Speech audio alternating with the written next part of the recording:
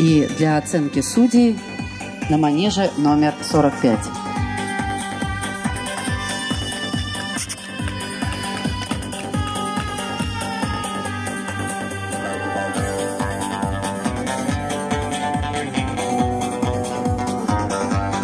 Ну вот, она немножечко расслабилась и уже начинает демонстрировать свои э, движения.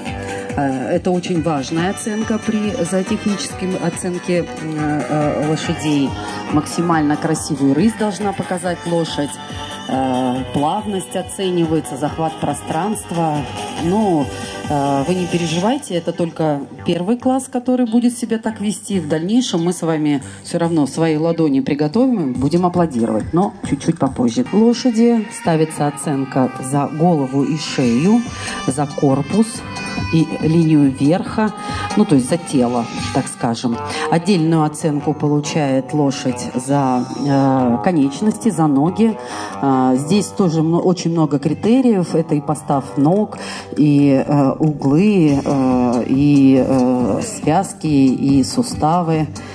Э, вот сейчас э, как раз хендлер будет демонстрировать э, проводку лошади от судей к судьям.